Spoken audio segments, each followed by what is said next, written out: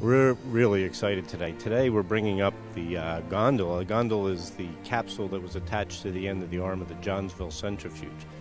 The reason we're so excited is today is the 50th anniversary of Alan Shepard's flight when he uh, became the first American in space. And he used that gondola just two weeks before he went up. So we're, you know, we're really connected to that, and it's a great thing that right here in Bucks County, Pennsylvania, uh, the, locals really contributed to the uh, space program, and we're going to bring all that to light with this uh, arrival today.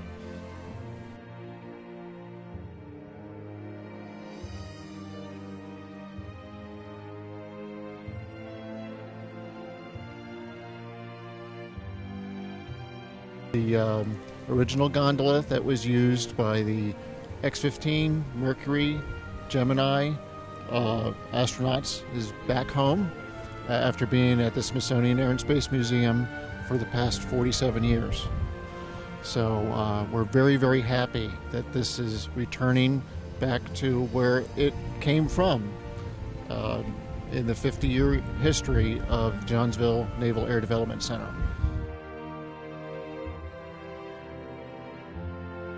Yes, we are uh, very excited here at Visit Bucks County. We are the uh, official uh, marketing arm for the county, and just to add this, the Mercury Seven gondola is is is just so thrilling to us because we grew up watching the space program, watching the moon landing, and this is just another big uh, iconic attraction at the the, the uh, Johnsville Centrifuge.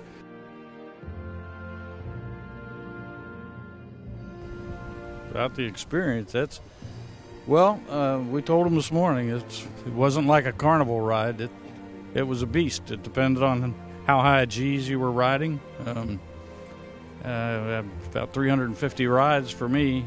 Um, I did everything from maybe three or four up to 16. So it was um, a lot of fun.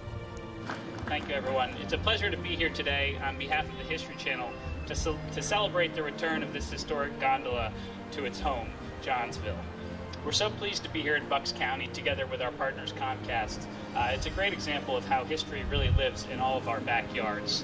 Uh, this gondola played a pivotal role in American space history and is now being preserved for future generations.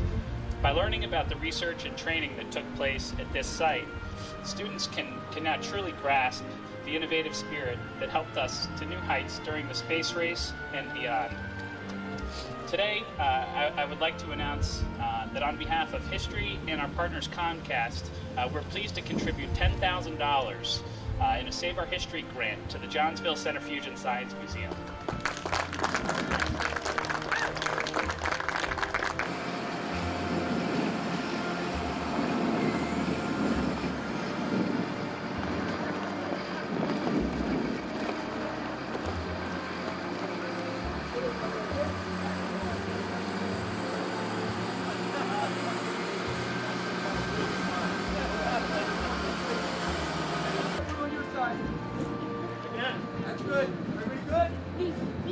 That good underneath? Looks like it's...